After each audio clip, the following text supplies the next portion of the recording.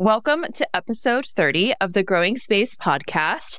In today's episode, I am going to be sharing with you a conversation that I had with my good friend, Craig LeHoullier. You'll learn all about Craig here in a second when I ask him to introduce himself to you all.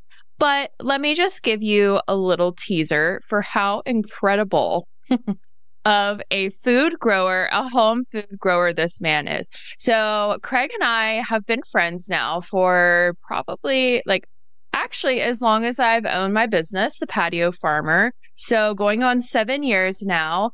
And he is an avid home food grower, small space food grower, and he's kind of a big deal, y'all. He goes by the nickname the NC Tomato Man Uh, on Instagram and on his social, but Craig has a pretty impressive tomato portfolio. For example, he named and popularized the Cherokee Purple Heirloom Tomato, which is by far one of the most popular and most sought out heirloom tomatoes. He is also a tomato breeder. You guys, he like makes different kinds of tomato plants. And he has a special type of tomato that he likes to breed for small spaces. You'll learn all about that little tomato in today's episode. And he's a published author. He's written two books. One is called Epic Tomatoes, and it is just this beautiful volume of information all about celebrating tomatoes. So, you guys are in for such a huge treat. Make sure you check today's show notes for more information on how to find Craig, how to keep learning about tomatoes from Craig, and to check out his two books. The other book that Craig has written is called Growing Vegetables in Straw Bales. So, that's another one of his specialties is turning straw bales into beautiful, lush food growing containers, truly. Uh, zero waste containers as well. So, you guys are in for such a treat, and I am so excited that I get to share this conversation that I had with you. Craig has also been just like a massive supporter for me and my business. Uh, we've presented at conferences together. He's been guest to Plant Club many, many times over the years. So, anyway, I am just so tickled to share with you this interview that I had with my friend, the NC Tomato Man. Welcome to the Growing Space podcast. I'm your host, Farmer Erin, owner of the Patio Farmer, and I believe that no matter what size space you have, you can grow food at home. Tune in every Tuesday as I share my best tips, tricks, and encouragement for tending to homegrown edible plants. I'm here to support your food growing journey.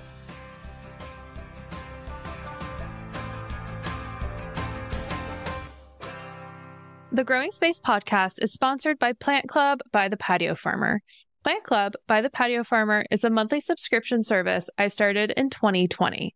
It's a membership based opportunity to take your growing journey to the next level. With four different membership options, you get to decide the amount and kind of support that's right for you. All Plant Club members receive access to my online community through a platform called Circle. Having access to this platform allows members to share pictures, ask questions, celebrate harvest, and get to know each other. All Plant Club members also have access to free seeds each month, along with information on how to plant and tend to their crops, with seeding instructions and downloadable resources from the Patio Farmers Resource Library. Membership starts at just $14 a month.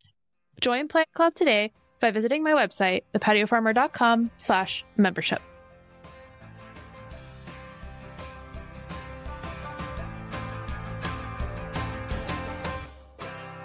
All right, Craig, I am so excited to have you as a guest on my podcast today. Thank you for taking the time to just talk to us all about tomatoes.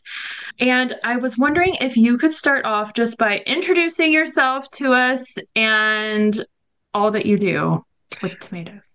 Sure. And first of all, thank you, Erin. This is a delight to be on your podcast, to realize that you started a podcast. You and I go back five, six, seven years where we actually met at a most unique event, the very first of the Charlotte uh, area tomato tastings. I even forgot what they called it, but it, it, was a delight meeting you then. And sometimes you meet people and you know there's going to be a friendship that sprouts from that seed. And, and here we are, right? So my name is Craig LeHoullier, living in Hendersonville, North Carolina. Oh gosh, I think I've been a gardener now for almost for 40 years or more and I've been a, a, seed saver. I used to be a, well, I'm still a chemist, but I, I, used to work in big pharma. We'll let that go. Those were 25 years I don't really want to think about. Sometimes you just got to do stuff to support, to support the family. But in parallel to that, I developed this real passion for gardening and developed a keen interest in heirloom tomatoes and through my work in the Seed Savers Exchange, became their tomato advisor, which I still do, even though they rarely ask me to advise anything. It's still something that's kind of cool to say.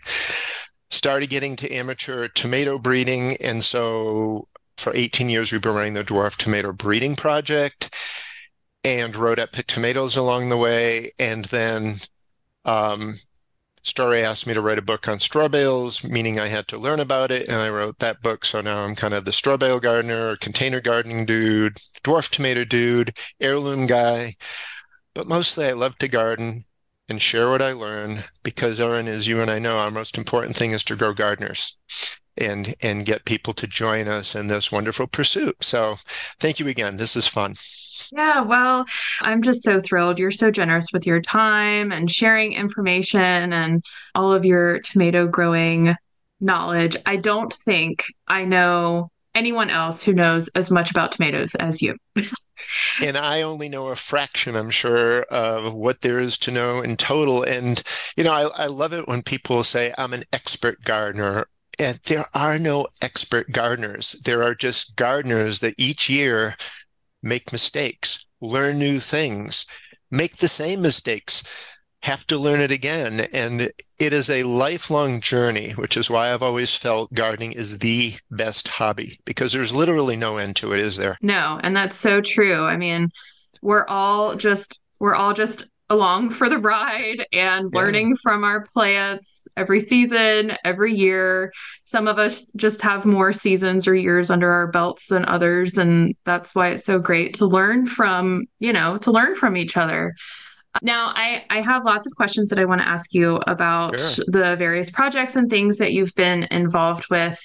But I wanted to start. So, your handle on Instagram is the NC Tomato Man. Yeah. And I'm curious, like, what is the story behind going by the name NC Tomato Man? You know, it's it's it's not the easiest question to answer because I probably took that name right around 2010, 2011. So I was leaving my job at GlaxoSmithKline and moving all of my communication to Gmail. And, you know, I was on Tomatoville around the time and I was giving talks around North Carolina. Even even well before I wrote the book, I had these big gardens. And so I just started thinking, well, you know, I'm in North Carolina, I'm growing a lot of tomatoes. I need a Gmail handle. I'm going to be nctomatoman at gmail.com. That translated to Instagram. When people started introducing me at talks, it's like, here's the NC Tomato Man. And you just, sometimes things evolve from the ether into reality and i just decided to own it. And and what's interesting is when you start seeing then i'm tennessee tomato man or i'm the michigan tomato dude or you know the california tomato lady it's it, it is a way i guess to put a label on something and at least in this point it is somewhat accurate. Oh that's awesome. We're we're both tomato obsessed, I will say. Mm. because who doesn't love growing homegrown tomatoes and eating them? Oh my gosh, homegrown tomatoes. It's almost like a whole different plant from what you would buy in the store. It is. So, and true con- so true confession, the last tomato I ate was August 15th of last year, which is what was at a tomato tasting. The next tomato, and we're talking fresh tomato. We're eating lots of canned tomatoes because we canned a lot the next tomato I eat will be the first one I pick from this year's garden. So I am so disciplined and so spoiled and so snobby about great tomatoes that I actually take about six months out of my year and decide I'm not going to eat them. So how's that? I love that. I love that. This might be a hard question, but what is your favorite thing about tomatoes? Oh, it's actually not that hard because my favorite thing about tomatoes is the incredible diversity of options for you to grow, coupled with the fact that, unlike many crops of what we've lost quite a few through the years through just not good seed saving or letting things go extinct, the race to the latest cover variety on any particular seed catalog. So it, it's the fact that we can grow a lot of history in our garden. The fact that those tomatoes can represent stories. And the best way to capture people's interest in garden and gardening, or many pursuits perhaps, is to tell them stories about what you're growing. Oh, here's Cherokee Purple. Oh, let me tell you the story about that. Let me tell you the story about Mortgage Lifter. That helps people garden. And I love to eat. I'm a big dude. And thankfully, tomatoes have very few calories. But I am a I'm not a super taster. I've kind of done that little test, but I am pretty good at picking out nuances. So dark chocolates, coffee, wine, beer, tomatoes, the same thing. Is it tart? Is it acidic? Is it sweet? Is it fruity? Is it bland? Is it something you want to spit out under the table when people aren't looking? You can take 100 tomato varieties, and if you pay attention, you'll find that each of those 100 varieties tastes slightly different. And those who love to cook can take advantage of that by maximizing their use. These are best raw, these are best cooked, these are best sliced, so you can see the beauty of them.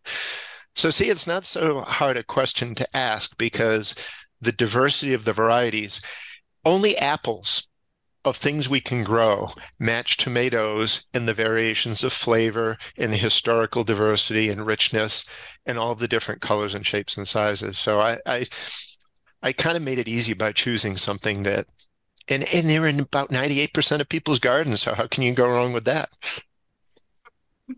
Yeah, I mean, those are all fantastic things about tomatoes. And I love that about how they tell a story and, you know, just goes further into learning from our plants that we're growing at home in our growing spaces. As you know, a lot of my clients and customers and a lot of my podcast listeners grow in small spaces at home. Mm. So there's, you know, a lot of people who are growing in containers or they might have a couple of raised beds. Mm. Some might be growing in the ground, but predominantly we're small space food growers. And you also have experience with growing in small spaces. Tell us about your growing space that you have at home. Yeah. What does it look like? Yeah, and sure. how do you grow food at home? So I grow in my backyard, which is a really nice sunny spot. We have about a quarter acre fenced backyard. And because our septic field is back there, we use straw bales and containers sitting on the lawn back there. And this is just a carryover from when we gardened in Raleigh, where that perfect garden spot that I dug in the ground became imperfect when diseases built up in the soil and the trees grew to reduce the sunlight to where it it wasn't maximized. So you'd end up with 20 foot tall tomato plants with three tomatoes on it. So I moved it all into my driveway. This coupled with the fact that when we were selling tomato seedlings for all those years at the Raleigh Farmers Market, the most frequently asked question is, you know, I love tomatoes, but I don't want to climb a ladder to pick them. Or I have to grow them in a raised bed or a small container or on my deck or on my driveway. What have you got? So that influenced my desire to start the dwarf tomato breeding project because up until that, the flavors of the shorter growing tomatoes just didn't match the sun golds and the Cherokee purples and the Jack and the Beanstalk types that everybody loves. And so, so my growing space is roughly on any given year 20 straw bales sitting nicely spaced with five gallon grow bags in front. And I'll have the tall tomatoes two to a straw bale. And because I can bang stakes into my lawn, I can put eight foot cages or stakes. And then we have uh, green beans and straw bales and cucumbers and straw bales and summer squash. Way too many summer squash. We won't even talk about the number of summer squash I stupidly grew last year. But when we were in our driveway in Raleigh, I really needed those shorter plants. Indeterminate tomatoes are a challenge to deal with because they sucker at every joint between the leaf and the stem. And you have to decide what's my strategy? How am I going to keep these vertical? How am I going to keep these off everything else?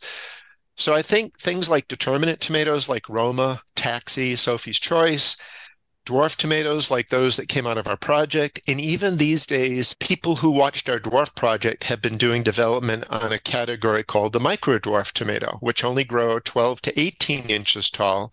They're primarily cherry tomatoes, but they they allow you to grow good tasting tomatoes in a one gallon container that get no taller than a foot. They're a lot of fun. And there's a company called Bunny Hop Seeds that that's made the micro dwarfs their specialty and they're selling 40, 50, 60 different types. So I always strive for flavor.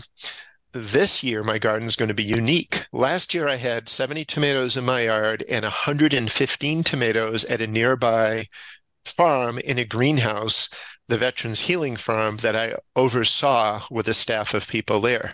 That almost did me in. You know, 67 year old dude on bad knees on a hot summer day, 180 tomato plants is a lot to take care of. So I've got this bet going with a lot of my friends. I've told them I'm only going to grow 12 tomatoes this year, and nobody believes it. So the gauntlet has been thrown down. I'm determined to stick to that. And they will be my absolute favorites for eating. Cherokee purple, Cherokee chocolate, Cherokee green, Lucky Cross, Polish, things like that. And I'm going to, instead of growing lots of plants and being able to tend them not as well as I might, I'm going to try to really care for these dozen plants well and prune them well and look for the diseases and stake them beautifully and try to maximize the yield off of those 12 plants. So that's kind of what I'm going to do this year. Uh, and I am still going to work at the farm and but my crew is going to have to take on more of the work. I'm going to be a good delegator and we'll see how many tomatoes I can squeeze into that space. But just the favorites in the backyard for me this year. Wow, 12 tomato plants. Well. I will certainly be following for updates on how all of those go. yeah. I, and I admire your I admire your restraint because it is so hard choosing which varieties and but you know going with the with your favorites i mean you can't really go wrong there no um, and, and, the dwarfs uh, you know you I want to get back just a little bit to what you said about people with restrained space. The ability to grow a full size, delicious tomato in containers as small as five gallon and get really good results. Yes, you're going to be watering more often. Um, yes, you're going to be feeding them more often, but the payoff is not having to climb a ladder to deal with the plants and not having them crawl all over your yard and to keep them you know, I'm not the neatest person in the world, but there is something about looking at a garden that seems a bit orderly. It creates a little less stress in your life. And you can really have kind of a nice looking garden with the dwarfs because, as you know, you've grown some of them. They're gorgeous plants with that dark bluish green foliage and they're a nice, crinkly, compact form. So, yeah, I'm pretty excited about the dwarfs. I don't know if I'm going to grow any of my backyard. I may grow them at the farm. So I still, you can tell I'm still at, in a big conundrum here on exactly what's going to go into my yard this year. We're recording this in yeah. January, even yeah. though it's gonna go, it's gonna go out in mid-April. This time of year before the spring season, it's all about planning and preparing so that when it is April and and May, we're able to just like run with all of our greatest intentions and ambitions. what What's really important about what you just said is the importance of planning, which is a, a step that many gardeners skip. Two common mistakes of gardeners is they don't even really plan until it's time to plant. They don't have the plants they need. They haven't really figured out what's going to go where. And so that planning step is very important. The other is the reflection time. Have a pad handy, have a pen handy what happened last year? What did I expect? What didn't meet those expectations? And if I don't want to do the definition of insanity thing, I'm going to do the exact same thing this year. Oh my God, I have the same problems. Well, of course you did. So it's the so gardening is a bit like solving a Rubik's cube where issues will invariably happen you grow as a gardener by figuring out what some of the possibilities of those those issues are and making some changes to, to see if you can avoid them. That's what makes it absolutely fascinating uh, fascinating on a daily basis. I'm sure you make lists. I make lists. I have lists everywhere. Yeah, I am a huge list maker. I I, I, make them in my head pretty much all yes. day. I write them down, and there's great satisfaction in crossing something off the list oh, when it's done. You know, my daughter, who's into project management, she gave me this little tip once. She's a list maker. She says every day have three buckets: one that's easy to do, one that's moderately challenged to do, and one that's maybe been on your list for a while. And your list is going to have many things in each of those three buckets. But if each day you can knock something off each one of those buckets, it gives you a true feeling of progress. So you have written a book all about growing in straw bales, which I will put a link to in the show notes for today's episode. Can you just give us like a high mm. view snapshot of what is involved or like some nuances to growing sure. in straw bales? Straw bale gardening should be thought of gardening in two 20 gallon container capacity in one cube. That is an enormous amount of root space. It also can be thought of as future perfect loam for the roots of your plants that starts off disease free. So I actually view of straw bale gardening and container gardening in the same ilk, both being quite separate from in-ground gardening, because a straw bale garden is going to need more water. You're you're exposing the sides of that straw bale to the sun, so you're going to have a little more evaporation. Um, at the very outset, some of the keys are finding a good source for your straw bales, because sadly, in the last three or four years, some people are are having experiences with straw bales where the it's clearly something has been sprayed on those fields of wheat and that herbicide is getting embedded in the straw that then dries and when you plant your plants in it it kills your plants now the good news is i've used about 300 bales in my 10 years of straw bale gardening and i've had exactly two that have killed my plants and they came from a big box store so it's probably good to look at a smaller gardening store, ask if they're certified organic. That's how to get the bale. And wheat is the predominant material. Really, all it takes is a two week process to charge it up, which is alternating days of applications of a high nitrogen food of some sort. I'm not strictly organic, so I will use a 2805 granular lawn food. If you're strictly organic, you can go with a fish emulsion or blood meal you do that for about a week, alternating days with heavy watering every day. You then need to charge it up with a balanced food. And so you use a 10 10 10, or if you're organic, an Espoma 565 plant tone. You let that work in water, water, water. Two weeks from the day you start this process, you can plant your plants in it. And that internal of the bale is going to start chewing and composting and creating loam. And what I've found is a fringe benefit is your plant maturity dates are reduced because of all that heat cooking in the center of the bale. I and you can direct seed into them. So I, I harvest summer squash about 37 to 40 days from putting the seed into the potting mix on top of the bale, which is insanely quick. Tomatoes will gain five or 10 days in maturity dates because those roots are hitting that composting creation of loam zone because you're going to be watering to keep the plants happy. You're also going to be feeding to keep the plants happy. So once the plants really mature, I'm doing pretty much a daily water and a weekly feed, but I'm just using an all purpose water soluble one and a half cups per plant. So once you get into the rhythm of this, you're not weeding. Um, you don't have any disease in those bales. And I tend to pick about 30, 35 pounds of tomatoes per plant in a straw bale. So if I have two tomato plants in a straw bale, I'm picking about 70 pounds of tomatoes from the plants in that bale. Peppers, love it. Eggplant, love it. Um, green beans. So really, uh, the determining factor is: do you have a good source for bales that isn't going to break the bank? Um, we started off here paying about five or six straw bale. Through COVID, the price raised to about seven or eight per straw bale but that's two 20 gallon equivalents of capacity. And if you think of what it would cost to fill that with high quality potting mix, you're kind of at a wash. And then at the end of the year, Your two foot bale is now scrunched down to about a 12 inch pile of perfect mulch you can then use in the following year to put into your containers or work into your raised beds. So it's an absolute no waste methodology that gives you two to three years plus of benefit just for that single bale purpose. Have I sold you yet? oh my gosh. Well, I mean, yeah, just I mean, I've heard you talk about straw bales several hmm. times in the past and you know, I I think I might have to do it this year. I will admit I have I haven't sure. tried it yet. Yep. But the fact that you get harvest from direct seeded summer squash yes. in less yes. than 40 days yes. is like mind blowing because, yeah. you know, for those of you listening who haven't grown summer squash from seed before, usually it's about a 55 to 60 day yeah. maturity. Yeah. So and the other thing is, huge. I have, and I have never wa- lost a summer squash to the squash vine borer growing them in straw bales.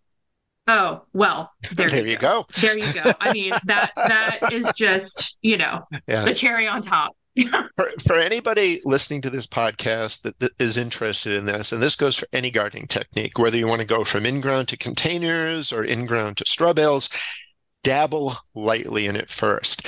Gardeners tend to be super enthusiastic about something and they'll say, Oh, this sounds great. I'm going to grow 100 straw bales next year and then you, you realize it's not for you. We garden every year. Wade think of it as the ocean. Wade in slowly. Put your toes in the water. See if you like it first and then if it is for you you can continue to transition. So through the years i've gone from in-ground gardening to full-blown container gardening and now i'm transitioning to a real mix of containers and straw bales lean towards leaning towards straw bales because of having to buy that mix to put in your containers every year, straw bales have eliminated the need to do that. So, you know, it's been a little bit more cost effective for me. Though I do love container gardening as well. It's in ground gardening that I've kind of turned away from because you don't have to weed and all of the things that you don't have to do anymore. I don't miss them at all. Let's talk a little bit about the dwarf yeah. tomato project because you were a co-founder, co-leader mm-hmm. of that, mm. and you are a tomato breeder. Like you have created yeah. tomato varieties. Walk us through what that means to yeah. well, first of all, like you've shared a little bit about dwarf tomatoes, so yeah, you can share a little bit more about that, and then tell us how do you create a new variety? Yeah. Uh, so up until about the year the mid 2000s Everybody knows about indeterminates. They grow tall. Everybody knows about determinates. They stay short. Indeterminates have the big, colorful, best flavors for the most part. Determinates, aroma, lots of productivity, eh, not the best tomato you ever ate in your life. There was always lingering behind the scene a third type of tomato that very few people knew knew about called dwarf tomatoes, and it's a separate genetic class. And seed catalogs mess this up all the time. They'll say, well, is your dwarf determinate or indeterminate? I'm like, it's dwarf. It behaves like an indeterminate in that it fruits until frost. The characteristic is it grows vertically at half of the rate. So if at the end of your season you've got an eight foot Cherokee purple, your dwarf would be four feet tall because it just expands upward slower but it doesn't need pruning. And in fact, if you prune a dwarf, you reduce the potential yield. You just let it all go. And what I love about them is the useless tomato cage is perfect for dwarfs. The four foot cone things that your indeterminates escape from within two weeks, your dwarf will stay nice and happily nestled into this thing throughout the growing season. So when we started the project, like I think I said earlier, a lot of my plant customers wanted to know what what they could grow that would taste great, be interesting, colorful, and yet it would it would stay short. And that's when I met this woman, Patrina from Australia, on the old Garden Web website. It was a discussion group from way back in the early 2000s. And it turns out she liked to create, she liked to cross varieties, take pollen from one parent, put them on the flowers of another parent. And I shared with her this idea of creating dwarf varieties. So we got our hands on the, the three or four known dwarfs at the time. There were very few. There was Dwarf Champion from the 1880s. There was Golden Dwarf Champion from the 1890s. Dwarf Stone from 1905. anybody who has grown the hybrid husky series knows what they're like. Those are actually dwarfs, but they never caught on. They were never promoted prop- properly. They weren't very interesting to grow or very delicious. But so dwarfs have been among us, but they're never really discussed as that. So we would take the great flavored heirlooms, the Cherokee purples, the green giants, the Lillian yellows, the brandywines, and take pollen from those and apply them to the flowers on these dwarfs. That would create a new hybrid. She would send me the seeds that she created. I would then grow it out, send seeds to her. We created a team. We'd bounce seeds all over the world and create this all volunteer army of people just growing tomatoes to see what they got and then getting the results and sharing the results with me and the seeds. So what we ended up with is 157 is the latest total. So if you look into in the Victory Seed catalog, they just released seven more this year. So we have 157 creations. Our very first were released in 2010. So it's taken 13 years to, finalize they are stable. We've grown them out to the eighth generation or more, meaning if you get one of these dwarfs and grow them, you can save seeds from them and they will be the exact same tomato year after year. What was fun about this project is learning about what happens when you take pollen from a green tomato and cross it with a red tomato or a purple tomato and cross them with a yellow tomato tomato genetics we taught ourselves, and I'm going to be writing a book about this project. I've been saying this for years now. But Storey wanted me to write it, my publisher, but they wanted too much creative control over it, and I didn't like what they wanted to call it, and they didn't want me to include a lot of the genetic details. So I said, okay, well, thank you for offering. I'm going to do it myself. So I'm going to write the book, self publish it, and it's going to go into the detail of how we did all of our varieties, what they look like, what they taste like. And it's not like they're magic. They they're they are very densely foliaged. So in very humid warm areas you have to really watch the foliage. And if you see the little early blight or septoria blemishes forming on the leaves you have to get that off the plant. You have to give them adequate spacing so you have good air circulation good sun exposure. I think the only other thing I'll say about them before you, you, I give you a chance to ask me anything I didn't talk about is we don't, I get a lot of, I live in Maine, I live in Canada, I live in Arizona. What dwarfs are going to do well for me? And the answer is we don't know yet because they're so new. We didn't breed them with disease resistance in mind. We, dre- we bred them with fun in mind, color, flavor, diversity.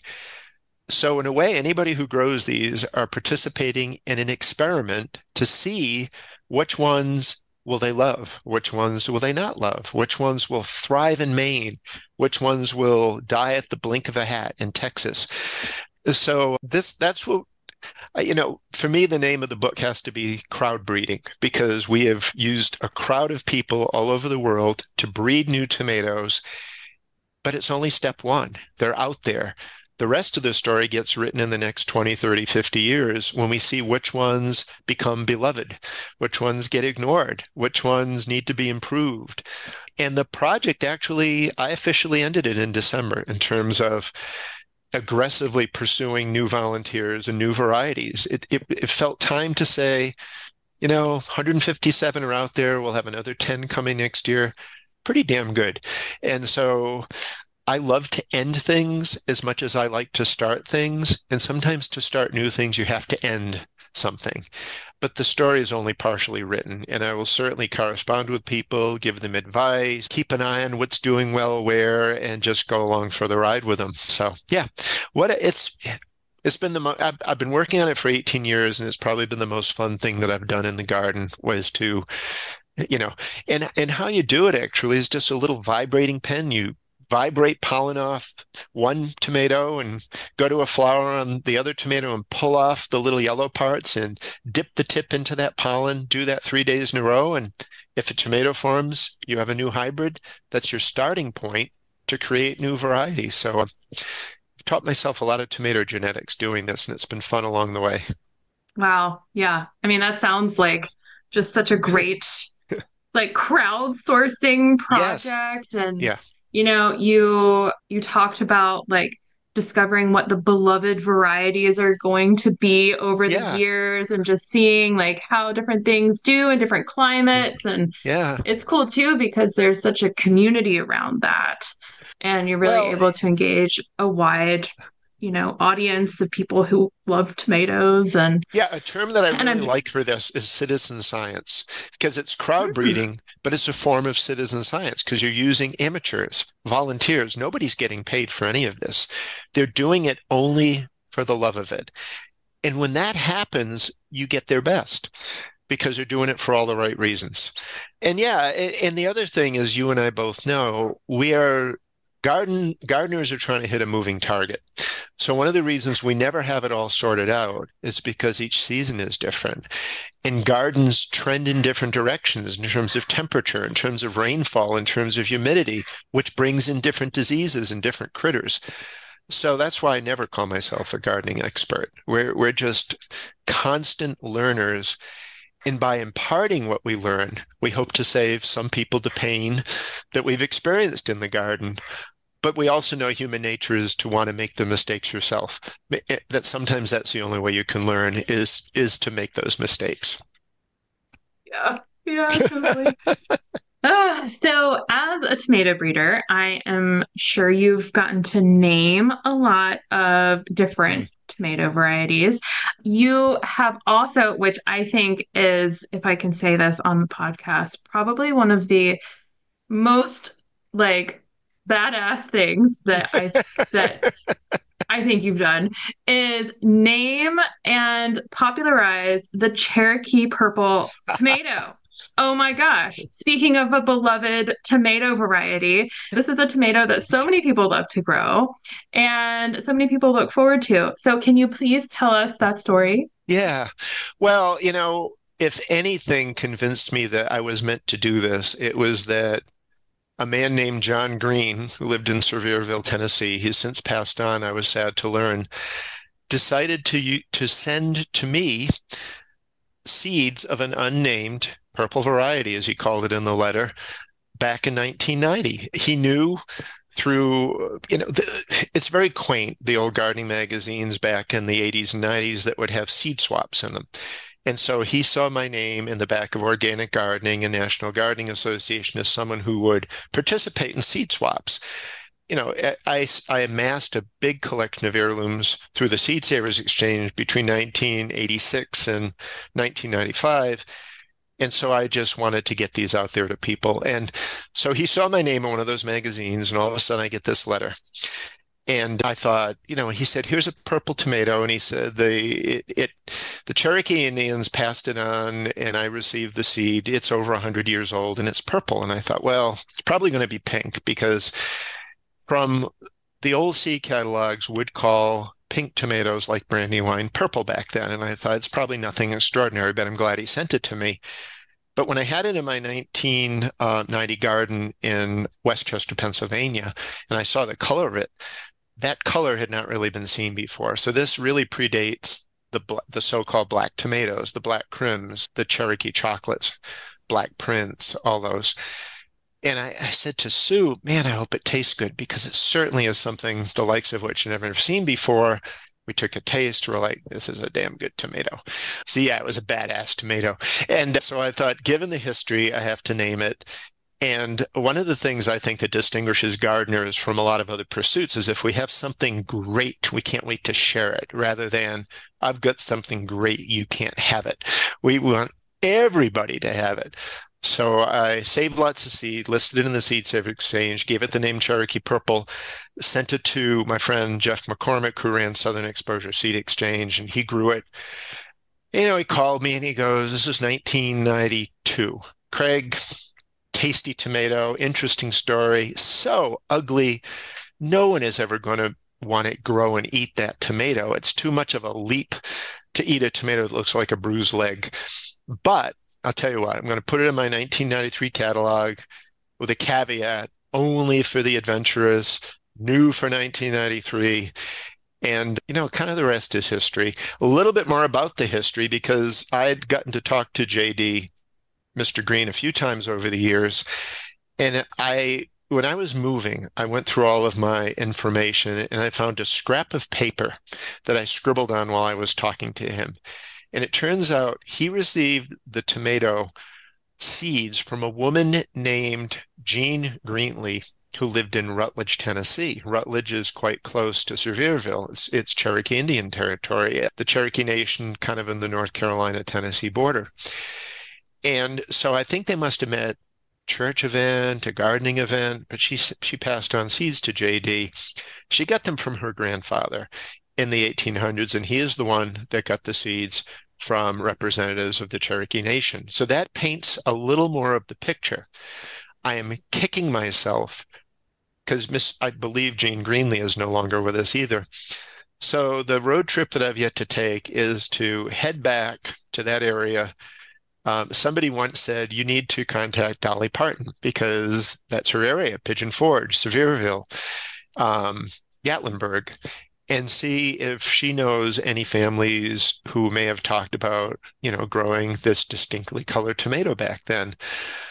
Also to ask maybe way after the fact permission and forgiveness to actually name a tomato that is that appear to be part of their nation. So I think our awareness in the last decade or two of becoming more aware of sensitivities, what we call things, what we name things, has made me really scrutinize the names of some of the things in my collection and wonder if any of them are hurtful or, you know, did we take advantage of, you know, the tomato Mexico midget is insanely popular. Is is that an appropriate name for that tomato? Dwarf Tomato hmm. Project. So so it's it's interesting that this old guy in the last five or ten years has been forced to think a little bit about some of these culturally important things that maybe we never thought about. I mean, if you look at old seed catalogs, they're horrendous. The seed catalogs from the 1870s, 1880s, and 90s are, are horrendous. Some of the things that are in there. Mm. So, so it added a different wrinkle to gardening in terms of consciousness and awareness of what we're growing and what we're calling things. Isn't that an interesting way to look at it? Yeah. Yeah. I mean, it is. And it's, you know, it is, it's an interesting reflection. You know, you were talking about reflecting on, on seasons past. And yeah, it's just, you know, it's a good reminder of mindfulness and all of, yeah, all of that. Yeah. yeah. It, it makes it that much more it makes it that much more rich and diverse, but it also opens yourself yes. up sometimes into some personal challenges of was I too mm. callous at this point in time? And do I need to think mm. a little bit more deeply?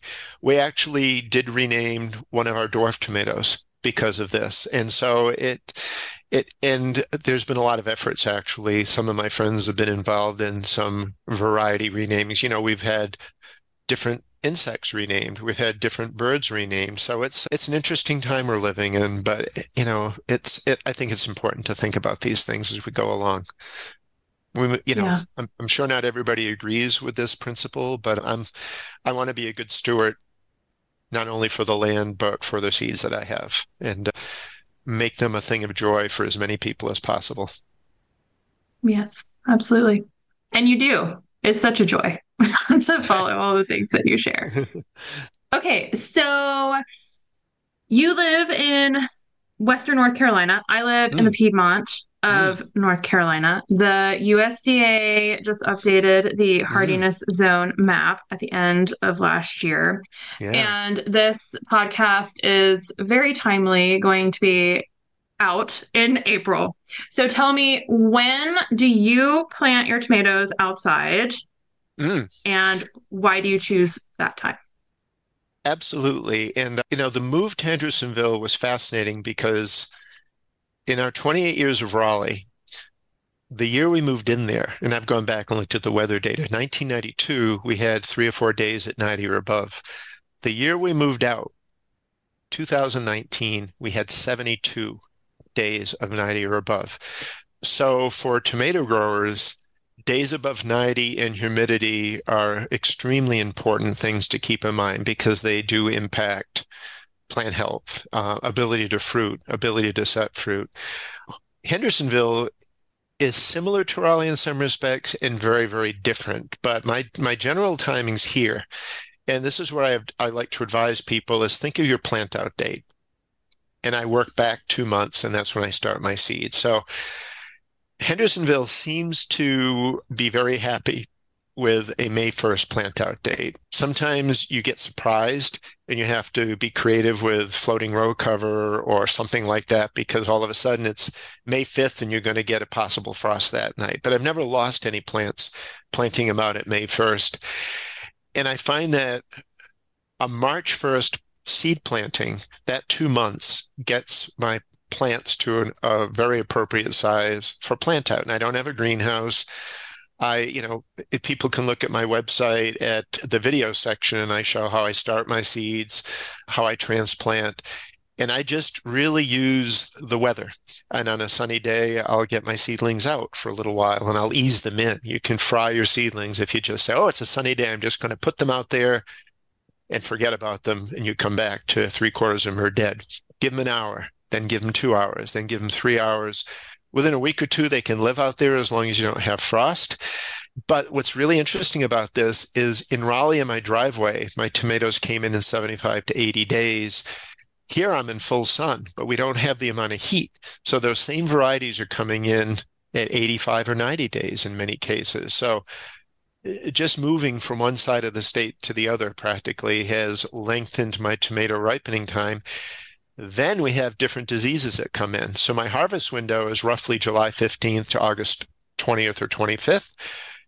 Extremely heavy yield, and then boom, the plants are pretty much dead. I've had to learn the hard way about how I garden here. And succession garden sounds like it would be a nice thing to do. It's just we get a different set of diseases that start, that start coming in in August and different sets of weather that makes succession planting very, very difficult because I've tried it a few times in late blight has has come in and wiped out those later planted plants. So I just go for that core of harvest. I can like a madman. We eat tomatoes like insane people, and then we say, okay, it's delicious. We're done. and so we, we can 63 quarts, and now we can make tomato bisque wow. all winter, or you know things like that. Wow. Yeah. Yeah. That's awesome. What, so what are, your, what are your what are your dates like for a plant out date where you are out of curiosity? Yeah, well, you know, of course, as there usually is, there's variance of opinion here. you know, there I have some clients that like to plant, you know, as soon as you have that nice warm day, yep. maybe in yep. early March. And that makes, you know, that gives me a little bit of anxiety. yes. But yeah, that that's a little too soon. And historically, our frost date, our last average frost date has been like mid-April. Mm-hmm. But with this new USDA mm. hardiness zone map coming out, our frost date this year, you know, is the 5th of April. Yeah. So a yeah. good bit good bit earlier. I personally for for several reasons I usually plant my tomatoes, you know, the first two weeks of May. Yep. yep. Uh, so yeah, I'm right. I'm right there with you. You know, usually like before Mother's Day, mm. but sometimes it ends up being Mother's Day weekend.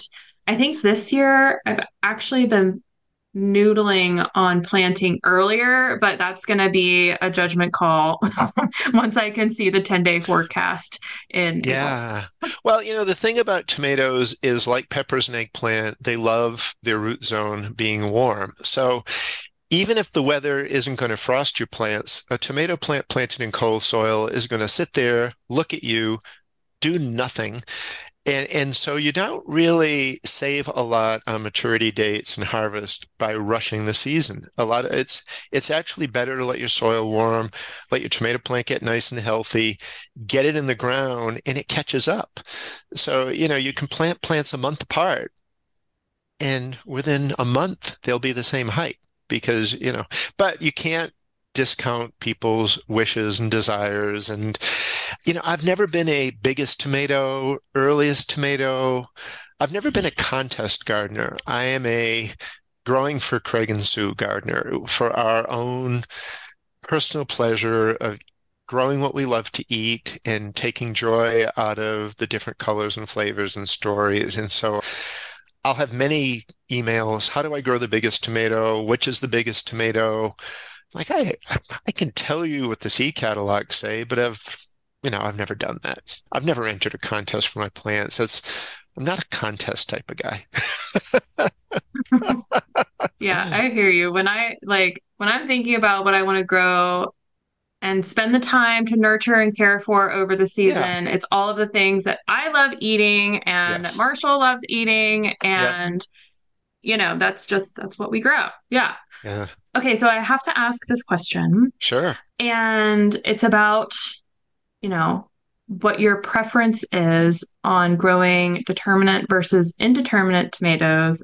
And I mean, I feel like I know the answer to this, but what's your preference on those two?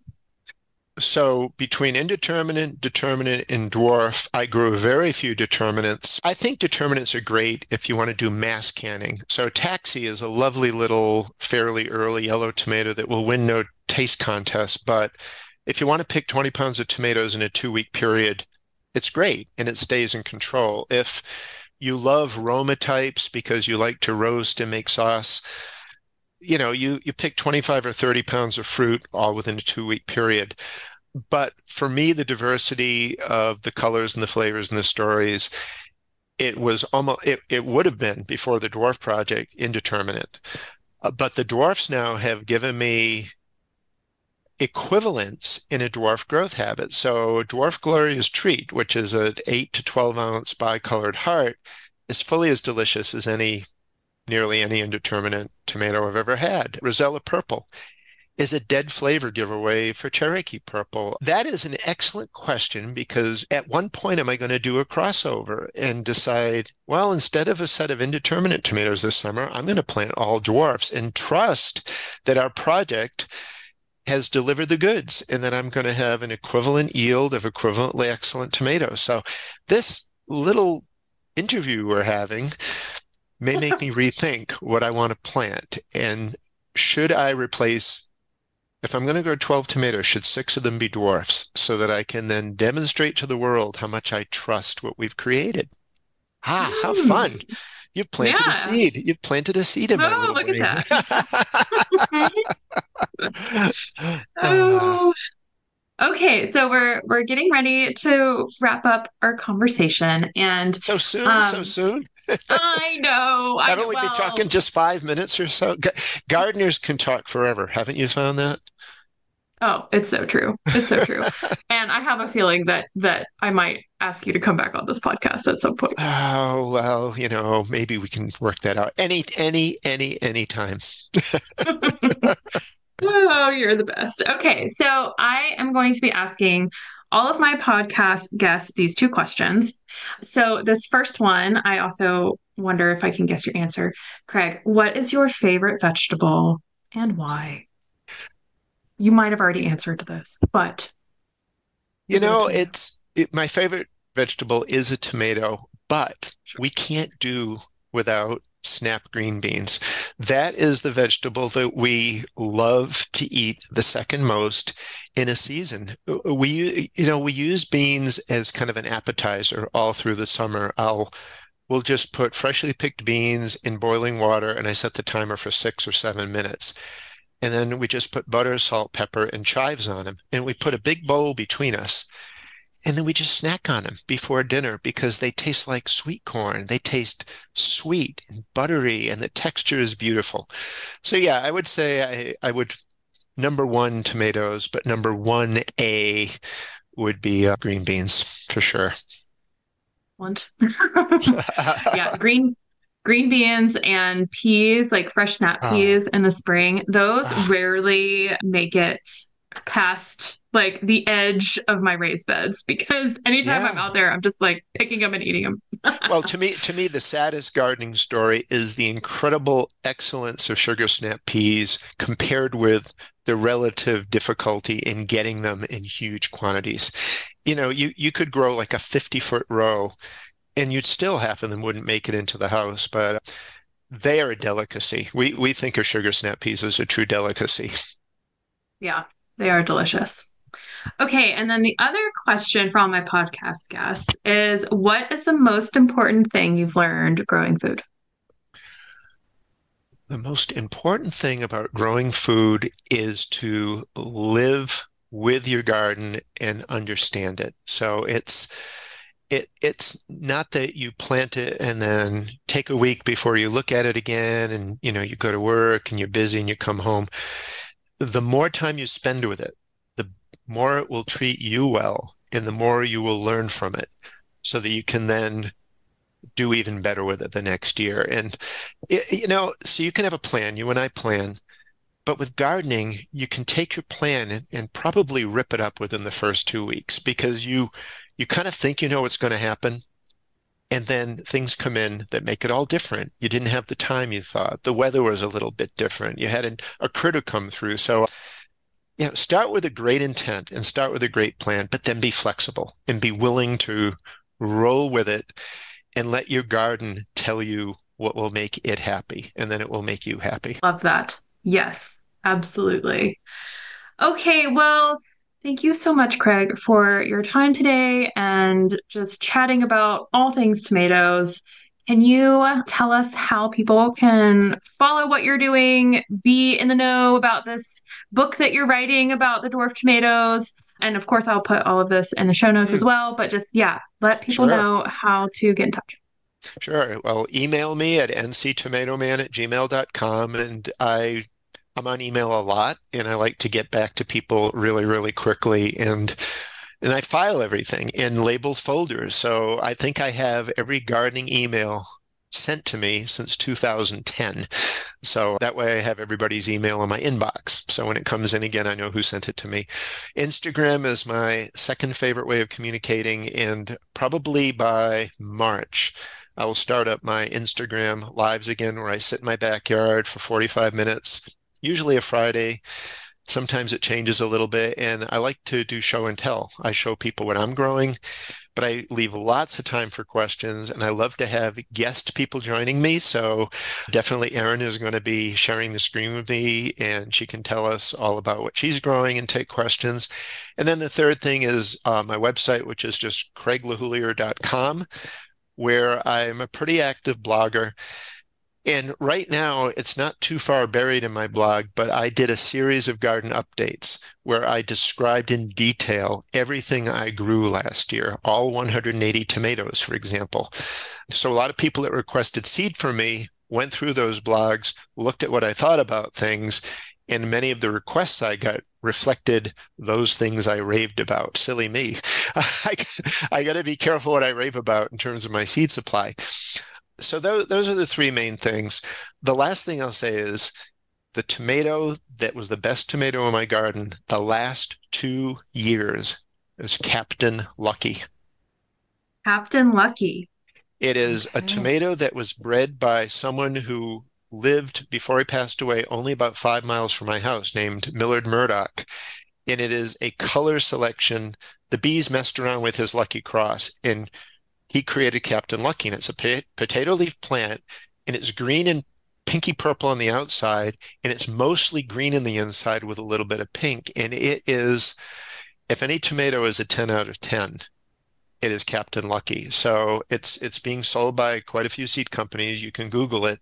I don't have any seed left to share, but it's out there. You can buy it it is just a remarkable eating experience. So, you know, even after 40 years of gardening, you can still get your mind blown by a tomato you haven't grown before. And that was the one. Wow. Wow. That is high praise. well, thank you, Craig. This has been really wonderful. And yeah, cheers to tomato planting time. Let's have a great season this year. Everybody, happy gardening. And, you know, any questions? I'm an email away. Thanks so much, Craig. Thanks, Erin. I hope you enjoyed that conversation with Craig. Isn't he just a wealth of information? I told you, I know. He's pretty incredible. So if you want to learn more from Craig, be sure to check the, today's show notes for more information on how you can follow along. Craig does do pretty regular uh, Instagram lives uh, throughout the summer and will give you tours of his backyard, his different growing spaces, and walk you through the different things that he's learning from his tomatoes each year.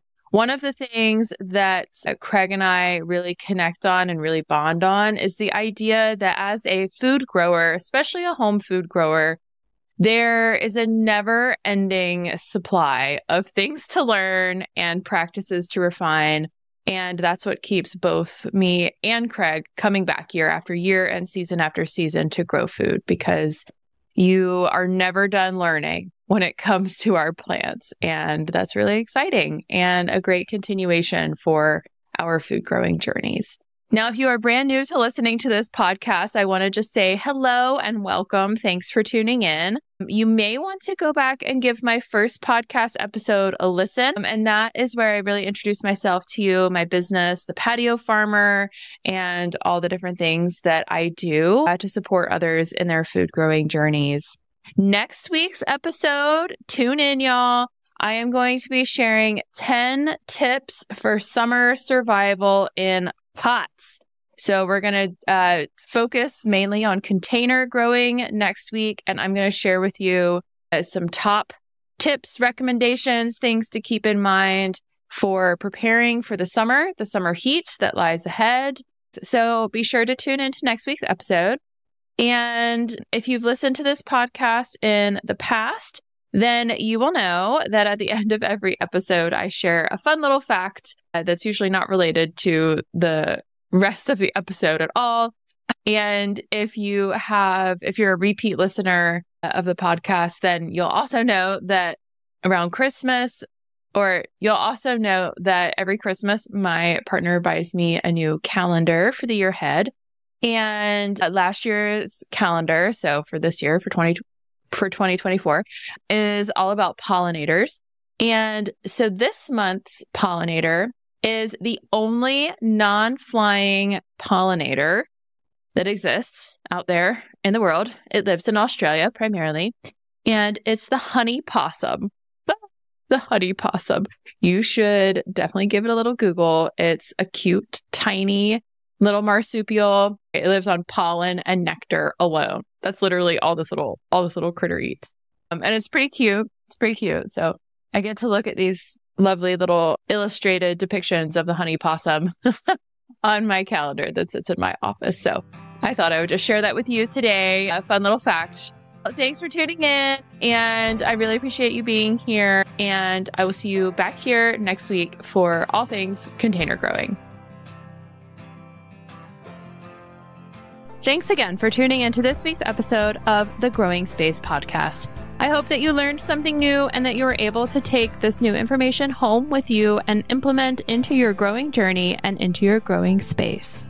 As always, I am here to support you and your food growing journey. If you'd like to learn more about the different services and resources and membership programs that I run through the Patio Farmer, please check out my website, thepatiofarmer.com. You can also follow me on social media. I am on Facebook, Instagram, and oh my gosh, most recently, TikTok. Wow, I know. I know. Here I am. Patio Farmer is on TikTok. It's very exciting. If you enjoyed today's episode, please give it a like or a rating or a review if you want. Maybe share a little comment about your favorite part of the episode. Share it with a friend. The more interactions I get with my little podcast online, the more I'm able to help people just like you in their food growing journeys. As always, thanks for being here, and I will see you again next week.